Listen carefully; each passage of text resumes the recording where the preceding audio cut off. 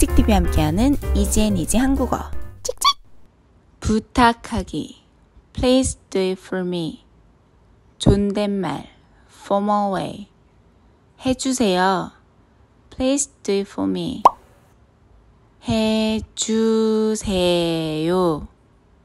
반말 informal way 해줘 Please do it 해줘 예문 examples example 1 인천 공항으로 가주세요. Please go to the Incheon airport.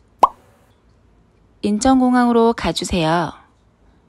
example 2 저희 회사로 보내주세요.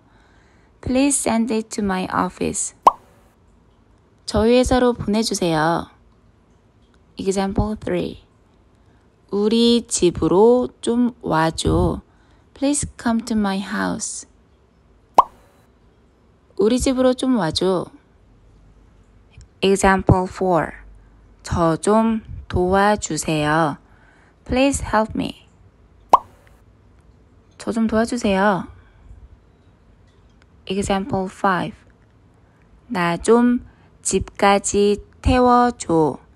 Please give me a ride home. 나 좀 집까지 태워줘.